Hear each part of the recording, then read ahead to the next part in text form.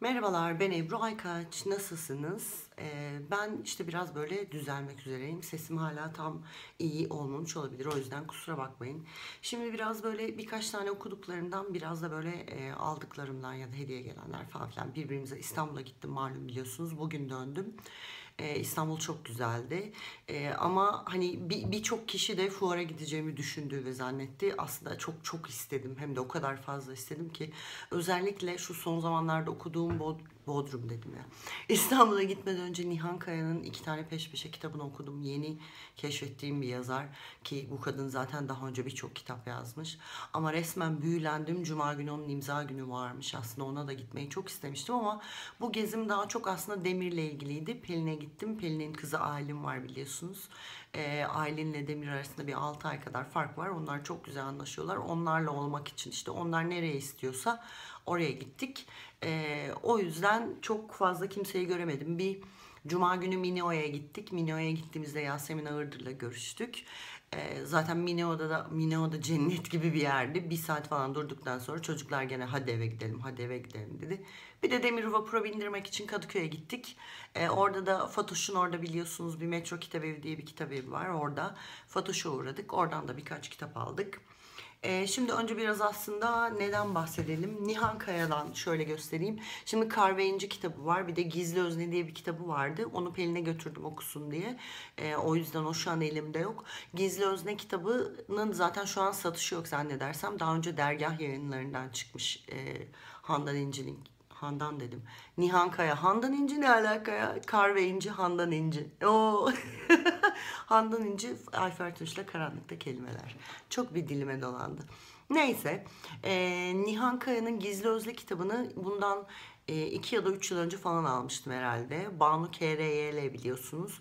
E, Banu'yla o zamanlar böyle yeni tanıştığımız zaman işte şu şunu tavsiye etti, bu bunu tavsiye etti falan filan demiş. Ve Gizli Özne kitabını da Banu'ya biri tavsiye etmiş vakti zamanında. İşte bunu duydun mu falan dediğinde duymadım demiştim. O da tavsiye eden ama çok sağlam bir kişi demişti. Ben de alalım o zaman demiştim. O zaman almışım 3 yıldır duruyormuş. Sonra zaten direkt Nihan Kaya'yı buldum ve e, Instagram'dan dedim ki ben kitaplığımda bir hazine bekletiyormuşum. Hem de okumadan 3 yıldır falan dedim. Gizli özne. Şimdi bu kadın neden bana farklı geldi diyeceksiniz. Birincisi psikolojik roman sever misiniz bilmiyorum ama ben çok severim. Hem de çok çok çok fazla severim. Hatta bu alanda önerileriniz varsa lütfen bana söyleyin. Ee, çok keyifle okurum. Ee, şimdi psikolojik e, roman yazıyor. Zaten işte master'ını falan filan bu hususta yapmış bir kadın. Çok da genç 79 doğumluydu zannedersem. E, Birçok kitap yazmış. Bu Kar ve İnci de son kitabı ayrıntı yayınlarından çıkmış. Önce Gizli Özne kitabını okudum. Sonra Kar ve İnci kitabını okudum. Kar ve İnci'de e, şimdi e, birincisi bu kadında şöyle bir şey var. E, o kadar duygulu yazıyor ki yani bir olayı anlatırken o anlattığı sahneyi Demircim video çekiyorum iki dakika sonra dedim halbuki video çekiyorum oğlum şimdi seslenme demiştim efendim gidip yapar mısın lütfen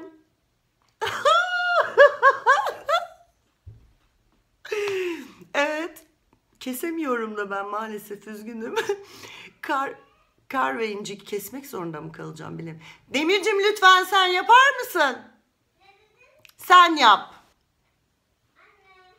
Ama video çekiyorum. Herkes şu an bizi dinliyor. Gelemem. Demircim lütfen. Ondan sonra bu Allah'ım inanamıyorum. Beni izlemeyin. Çok ciddi söylüyorum. Kar ve İnci kitabında e, nerede kalmışım? Ha. Gizli Özne kitabından biraz bahsedeyim. Gizli Özne kitabında bir sahne var. O sahneyi mutlaka size anlatmam lazım. Bir bayan kahramanımız var. Bu bayan kahramanımız e, istem dışı olarak e, dalıyor ve daldığında koşuyor arkadaşlar. Yani sağ koşuyor, sola koşuyor sürekli ve biri ne yapıyorsun dediği zaman şöyle bir duruyor özür dilerim kusura bakmayın falan diyor yani dalıyor. Ee, şimdi bu koşuş sıralarında ve hatırlamadığı anlarda bu kitapta bir sahne var. Bu sahne şöyle. Resmen yaşadım yani kendim kabusun içindeymiş gibi hissettim. Çıkamadım falan hissettim. Şimdi bu sahnede e, kadın kız e, yurt odasında e, tam böyle bir rüya görüyor, bir kabus görüyor ve gözünü açıyor, kabustan uyanıyor. Bakıyor odamdayım falan diyor. Çok korkuyor. Sonra diyor ki gidip bir elimi yüzümü yıkayayım diyor. Çıkıyor yurttan tam koridorda dolaşırken karşısında 3-4 tane arkadaşını görüyor. Ve onlar hayırdır iyi misin dedikleri zaman diyor ki ya o öyle anlatıyor ki hissediyorsunuz. O an siz o korkan kişi sizsiniz yani. Çok korkuyorum diyor. Lütfen sakın yanaşma çok korkuyorum diyor. E, sonrasında işte ya olur mu öyle şey falan filan iyi misin biz seni bu şekilde bırakamayız falan filan derken kız birden kaçmaya başlıyor. Odasına giriyor kapıyı kilitliyor. E, bu arkadaşları kapıdan böyle sürekli bir böyle ya iyi misin iyi misin falan derken kız birden geri geri gidiyor ve kendini camdan aşağıya atıyor. Fakat düşmüyor. E, nasıl düşmüyor? O arada o boşlukta kalıyor o kadın kız. Ve boşlukta kaldığın zaman birden işte böyle tekrar gözünü açıyor. Tekrar aynı odada falan filan böyle sürekli bir tane film vardı DiCaprio'nun neydi? Adalı bir filmdi. Yani sanki böyle hafif onun gibi e, nasıl anlatayım ben size ya sürekli çıkamıyor bir daha gözünü açıyor telefon açmak istiyor annesini arıyor sesini duyuramıyor falan sürekli o çıkamıyor o rüyanın içinden ve ben de böyle özür dilerim o çıkamadıkça ben de çıkamıyorum, çıkamıyorum falan. Bu sefer gitti, kesin gitti falan şeklinde. Atlıyorum, kahvenciye geçiyorum. Öbürü gizli öznedeydi. Ya, o kadar hissediyorsunuz ki yani ne söylese hissediyorsunuz. Böyle duyguyu sonuna kadar yaşıyorsunuz. Aşksa aşk, aşkı yaşıyorsunuz. Çıkmazsa çıkmazı yaşıyorsunuz. Yani anlatamam.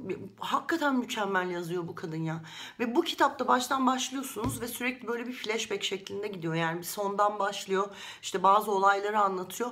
Ondan sonra o olayın arkasından dönüyor geçiyor diyor ki işte e, sonrasında kitap ilerledikçe bütünleniyor, tamamlanıyor, tamamlanıyor ve diyorsun ki wow demek ki hani bu böyle devam ediyormuş, bu şuymuş, şu şuymuş falan diyorsunuz. Ya çok rica ediyorum lütfen yani Nihan Kaya kitabı okuyun diyorum. Ee, bu sefer de bir de fazla uzun gene çekmek istemedim. Zaten videonun başı bak çok heveslendim. Demir oradan anne tuvaletim geldi falan dedi. Allah'ım inanamıyorum. Rilke e, Çünkü Zordur Sevgi kitabına ayıla bayıla okumuştum. Bu da genç bir şairin mektuplar. E, bunda da bir şairimiz var. Bu şair böyle Rilke'den bahsediliyor ve Rilke'ye mektup yazmaya başlıyor. Bunlar gerçek mektuplar.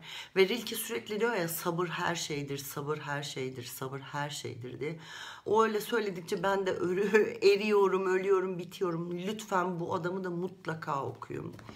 Ee, geçen gün bu kitaplık videosunu çektiğim zaman bana bahar karlarını sormuşlardı nasıl diye. Ben de okumadım demiştim ama çok sağlam tavsiyeler vardı. Onun üzerine almıştım. Bir de indirimi vardı o zaman almıştım. Bahar Karları kitabını okudum. Kitap gayet güzel, konu güzel. Fakat herhalde 4 serilik bir kitap olduğu için biraz yavaş ilerliyor. Yavaş ilerliyor derken okuma okurken yavaş ilerlemiyor. Yani çok fazla detaylı betimlemeleri falan çok başarılı. E, fakat belli bir yere kadar hani konu biraz ağırdan gidiyor. Nasıl anlatayım? Ya bir şey olacak, he, olacaksa olsun artık falan diyorsun. Bir türlü olmuyor. Çok ağırdan gidiyor. 150'ye kadar falan yani evet çok güzel kitap ama çok mu ağır, mıy mıy mı falan derken birdenbire canlanıyor, hızlanıyor ve kitabın son satırını okuduğunuz zaman da diyorsunuz ki hemen ikinci kitap okumam lazım falan diyorsunuz. Bunun ikinci kitabı içinde Pelin'i bekleyeceğim. Çok güzeldi. Ee, bakabilirsiniz. Belgelerim kitabını okudum. Daha önce iki kitabını almıştım. Sabit Fikrin 2014'ünde ya da 2015'inde vardı zannedersem. Bir 3-5 sayfa 10 sayfa okuyup bırakmıştım. Fakat öykü seviyorsanız eğer ben öykü okumayı çok seviyorum. Belgelerim kitabı gerçekten çok başarılı. Çok güzel öyküleri var. Çok sağlam ve aynı zamanda bu da çok duygulu. Ya hani ne bileyim benim bir standart bir şeyim var ya şey diyorum çok çok çok sevdiğim kitapları ruhu var ruhu var ruhu var diyorum ya mesela Nihan Kaya'da ruhu var.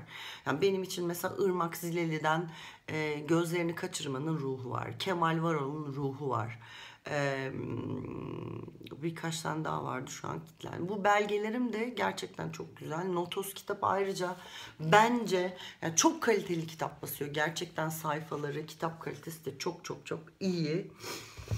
Bu arada e, Ece Temel Kur'an'ın ben Devir kitabını çok çok severek okumuştum. Çok büyülenmiştim, çok etkilenmiştim ama onun da ilk 100 sayfasını 6 günde okumuştum bakın. Geri kalan 400 sayfasını 2 günde okumuştum.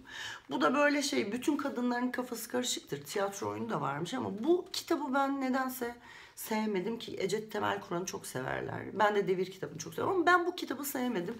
Ya hakikaten şeymiş gibi geldi. Hakikaten kafası çok karışıkmış herhalde. Biliyorum mesela Baldan Beriler de bunu çok sevdi ki ben onlar yani birileri özellikle sevdiğim değer verdiğim insan. Onun haricinde birçok mesela Fatoş çok sever ya herkes çok sever. Ama nedense ben sevmedim yani sevemedim bilmiyorum ya da benim mi kafam çok karışık. Onun kafası çok karışık benimki mi değil anlayamadım bilemedim yani ama ben sevmedim yani. Ama Ece Temel Kur'an'ın Devir kitabında da öldüm bittim yani. Bunu, ben şiir okuyamıyorum arkadaşlar. Bu benim için çok büyük bir ayıp, eksi, açık neyse artık sevemiyorum. Ki halbuki aslında çok şiir ne bileyim çok duyguludur, çok böyle güzeldir. Yani bu da biraz yani öyle gibi parça parça ne bileyim arada şiirler falan da var. Yani, ben, yani kitap kötü değil. Ben sevmiyorum arkadaşım. Ben böyle kitapları sevmiyorum, okuyamıyorum, haz etmiyorum yani. Sonra Çember. Bak o da yanımda yok çünkü onu da Pelin'e götürdüm okusun diye. E, bu bir Ütopya kitabı. E, Çember diye bir e, firma var. Böyle çalışanlarını barındırıyor ama son derece böyle yüksek teknolojide falan filan. O zaman böyle zaten Instagram'dan ve internetten uzaklaşasınız geliyor. Yani 1984 kitabı aslında Instagram'da şöyle söylemiştim. 1984 George Orwell bize ne kadar yani bu kitap ne kadar ütopikse e, Çember'de o kadar ütopik diye.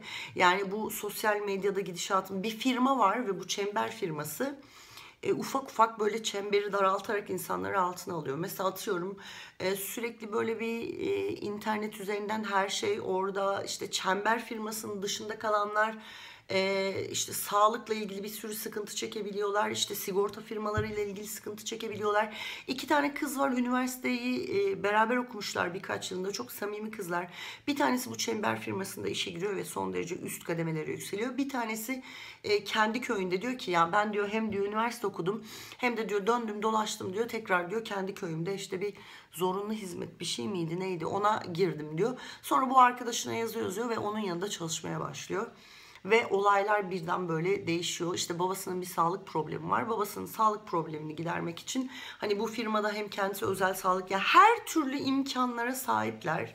Ama konu nereye gidiyor diyeceksiniz. Birincisi bu arada kitaba gece saatlerinde eğer başlarsanız o kadar akıcı ve o kadar sürükleyici ki yani uykunuzu falan kaçırıyor. Yani o kadar yapışıp okuyorsunuz.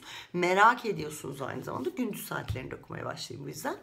Sonrasında eee Şöyle düşünün işte bunlar üç ortak var. Üç ortak bunu kurmuş. Fakat, fakat bunun içinde aynı zamanda kurguda da böyle çok böyle kitabın sonuna geldiğinizde de sizi hakikaten böyle sarsan böyle çat çat sallayan falan e, sonu da var yani. Hak, ben çok çok beğendim. Ee, mesela adam diyor ki bir sürekli bir her cuma bir toplantı üretiyor. Bir türlü anlatamadım arkadaş ya. Her cuma bir toplantı düzenliyorlar ve bu toplantıda işte her biri o kadar çember çalışanlarının önüne çıkıyor ve işte biz şunu bulduk, bunu bulduk. Nasıl ama çemberliyiz biz, şöyleyiz, böyleyiz diye gazı da veriyor oradan. İşte bir buldukları şey mesela en son gidişat. şeffaf şeffaflaş hmm. Bu arada ben çok şey neyse onu sonra söyleyeyim. Şeffaflaşmaya e, geçiyorlar. Nedir şeffaflaşma? İşte bir tane senatör e, kendine kamera takıyor diyor ki bundan sonra ben diyor artık çok şeffafım. E, bütün ülkeyle ilgili ne olursa olsun görüştüğüm her şey canlı olarak yayınlanacak beni izleyebileceksiniz diyor.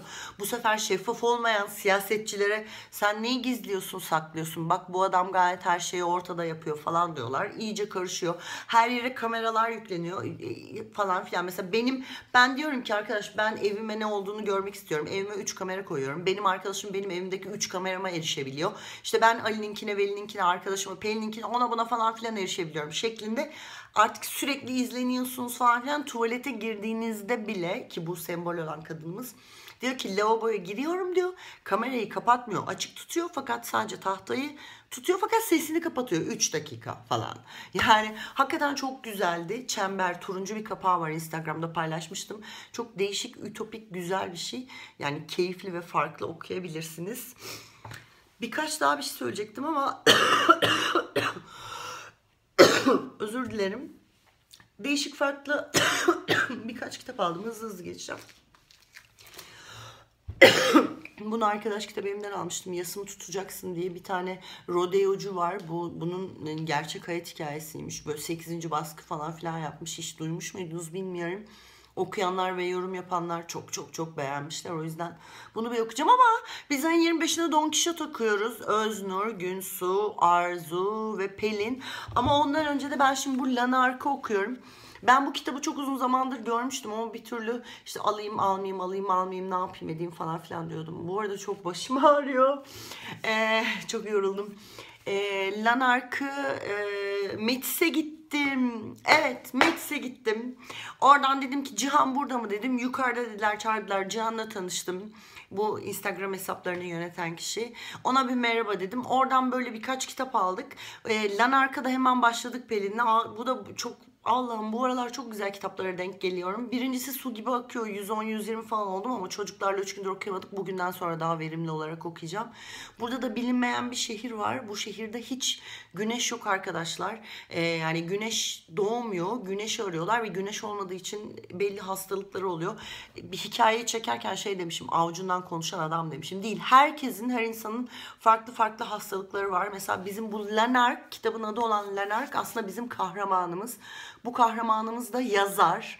Ee, bir şeyler yazıyor. Çok zeki aslında, akıllı da bir adam. Gün ışığına ve normal ülkeye dönmeye çalışıyor. Ee, bu adamın hastalığı bir ejderha hastalığı. Birdenbire böyle sol kola ejderhaya falan dönüşüyor.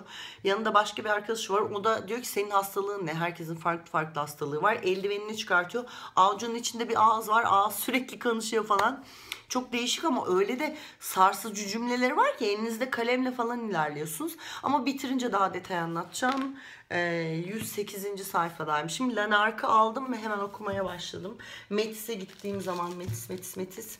2007'de zaten Ütopya ajandası. Ben bu ajandalara zaten bayılıyorum.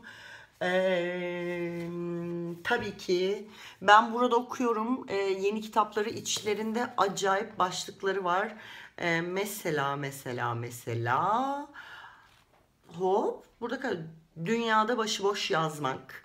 Ee, en ayrıcalıklı uluslar. Nobel'in kusuru ne? Bak şimdi hemen şimdi burayı bir okuyasım geldi. Nobel'in kusuru nedir? Bak çok merak. Bunu hemen şöyle ayırıp tutacağım. Çünkü videoyu kapattıktan sonra bir bölümü okumak istiyorum. E, dünyaya kafa tutan köy. E, bu biliyorsunuz gerçek. internette falan da vardı. Bu bir gerçek bir kitap olduğu için bunu okumak istiyorum. Bir de bir de bir de Muratan Mungan orada bak ben bu kitabını hiç görmemiştim. Siz görmüş müydünüz? Ben belki yeni olduğu için dört kişilik bahçe diye. Diyor ki arkasına aynı malzemenin üç farklı tür, türde yazılması ve yazarlık teknikleri açısından incelenmesi. Radyo oyunu, film senaryosu, uzun hikaye olarak dört kişilik bahçe farklı bir toplam demiş. Ben 5 5'e kitabını okumuştum. Onda da hani bir farklı bir proje kitabıydı. Beş farklı yazar vardı. Elif Şafak vardı. Pınar Kür vardı. Ee, Murat Amungan vardı. İki kişi daha vardı. Şu an çok özür diliyorum. Lütfen hatırlayamadım. Bunu da çok merak ettim. Bunu da okuyacağım. Tarife Ütopya. Ee, bu da arkadaşlar korkunun bütün sesleri bilim kurgu ben çok beceremiyorum onu okumayı. Ee, burada bakın şuradan hemen ben size telaffuz problemi yaşamayayım. Siz şuradan bakın görüyorsanız. Bu bilim kurgunun falan ya da işte bunların has adamlarının diyelim seçilmiş adamlarından 1, 2, 3, 4, 5, 6, 7 tane e, 7 yazardan öyküler var. Yani bu şöyle bir şey olabilir. Güzel bir başlangıç olabilir. Yazarları tanımak adına bu yazarların birer öyküsünü okursunuz, hikayesini okursunuz. Sonra eğer beğenirseniz gidip bu adamın kitabını alabilirsiniz. Bu o yüzden çok güzel bir şey olabilir. E, bir de bunu aldım Metis'ten.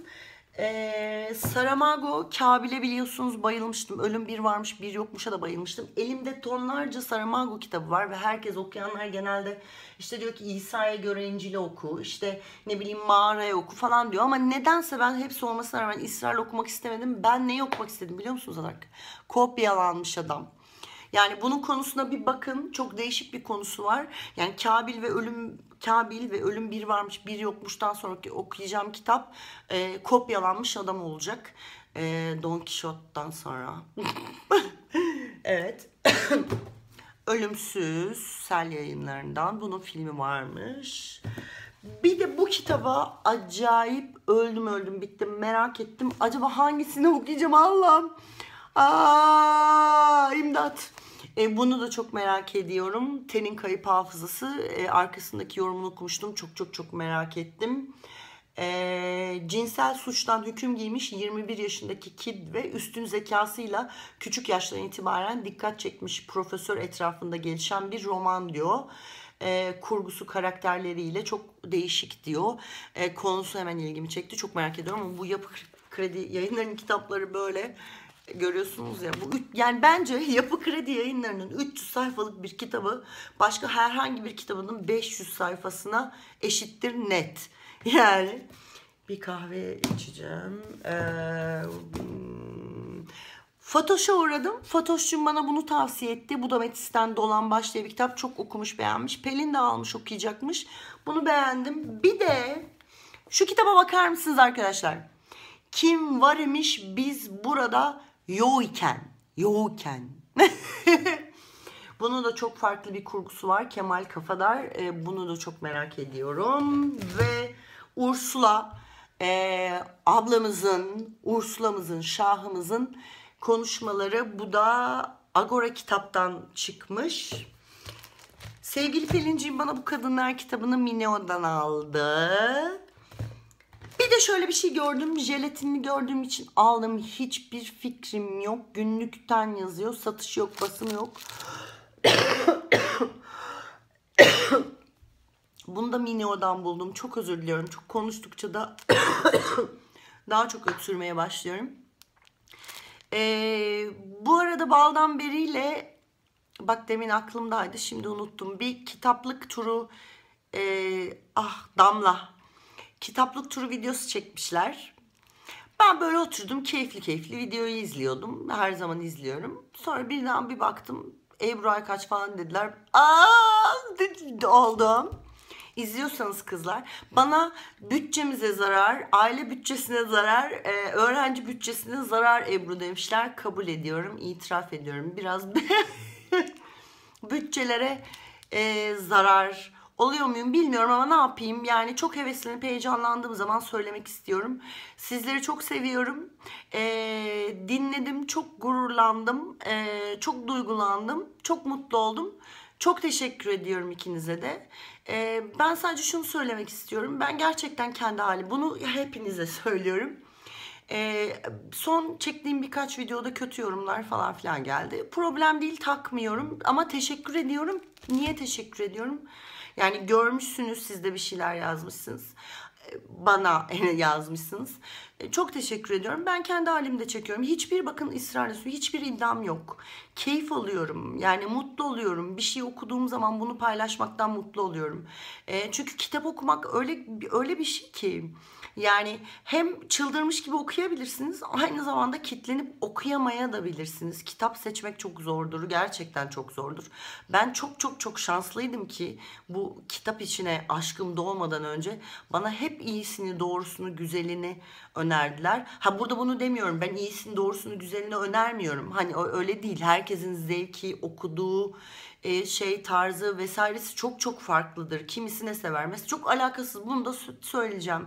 Mesela şimdi ben mülksüzler ben şimdi şöyle bir şey yapıyorum. Kitap yurduna giriyorum. Kitap yurdunda genelde bir kitap kaç tane satmış diye de farklı bir merakım var. Nedense bakıyorum. Mesela Metis çok satanlarına da bakarım. Şimdi Metis kitap evine baktım geçen gün.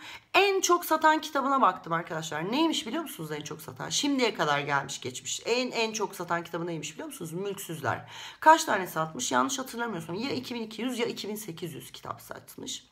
Yani bu kitap kaç yıldır var? Yani kaç yıldır basılıyor? Kaç yıldır okunuyor? Ve 2800 adet satmış. En çok satanı. Ondan sonra da işte yeni çıkan önerilerde baktım. Saracoğlu'nun bir kitabını gördüm. Yeni çıkmış. 10 gün falan olmuş herhalde. Bu arada Saracoğlu derken ben bu Saracoğlu'yu kötülemek vesaire için değil. Ben de okudum Saracoğlu'dan. Mart Menekşeleri diye bir kitabını okudum. Beğenmedim o ayrı. Ben konuşuyorum bunu söylüyorum. Niye? Okuduğum için konuşup söylüyorum arkadaşlar. Okumadığım için değil bakın. Yani okuduğum için. Başka bir kitabı daha vardı. Kamelyalı kitabı. Onu da okudum. Yarısına kadar okuyabildim. Okuyamadım. Yani ha belki şimdi mesela Saracoğlu okuyanlar da şunu söyleyebilir. Sen en kötü iki kitabın olabilir arkadaşlar. Bu Hasan Ali Toptaş için de geçerli. Ben iki yıl önce Bodrum'a giderken Hasan Ali Toptaş'tan Bin Hüzünlü Haz kitabını okudum. Aldım ince kitap dedim. İlk kez Hasan Ali Toptaş okuyacaktım. Kelimelerine işte anlatımına bayıldım, büyülendim. Fakat yaz tatilinde yaz o yanlış zamanda, yanlış yerde okuduğum için dedim ki o kadar çok bunaldım, içim karardı ki ben dedim uzun bir süre Hasan Ali Toptaş'ı elime almayacağım dedim. Yani bu Saracoğlu ya da Hasan Ali Toptaş olduğu için değil. Bu söylediğim sakın yanlış anlaşılmasın. O yüzden belki diyecekler ki sen de o Saracoğlu'nun iki tane kötü kitabını ya da yani en içleri arasında kötü olanını okumuşsun. Bunu söyleyince de Hasan Ali Toptaş kötü değil yani. Sonrasında ben bir Gürgen dalıyla büyülendim falan filan. Şimdi gölgesizleri okuyacağım ki adamın kalemi falan zaten muhteşem. Sadece zamanlama diye bir şey var okurken. Bu da çok önemlidir. Nereden nereye atladım?